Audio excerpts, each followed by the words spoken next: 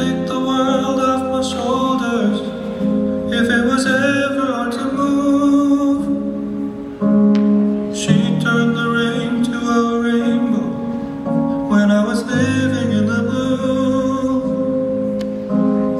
Why then, if she's so perfect, do I still wish that it was you?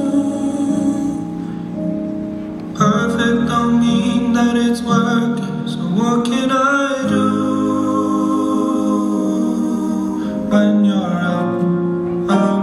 Sorry.